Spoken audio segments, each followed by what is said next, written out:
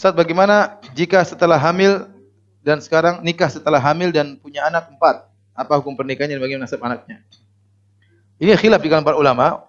Madhab Hambali mengatakan bahwasanya orang yang uh, hamil kemudian menikah maka nikahnya tidak sah.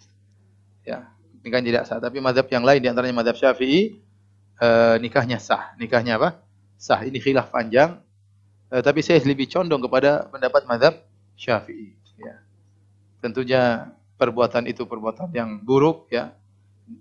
Hamil di luar nikah. Tapi kalau terjadi pernikahan setelah itu meskipun dalam kondisi hamil ya, uh, ada khilaf, ada yang mengatakan saya tidak sah, tapi saya lebih condong kepada pendapat yang yang saya ini pernah diskusi oleh teman-teman, ada tulisan ditulis oleh Dr. Musyafa, tulisannya bagus, saya tahu, saya belum tahu sudah keluar atau belum.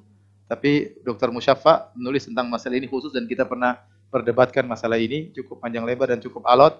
Kesimpulan yang kita dapatkan bahwasanya eh, nikahnya tersebut apa? sah. Tetapi anaknya ini eh, anak haram ya, anak apa? Anak haram.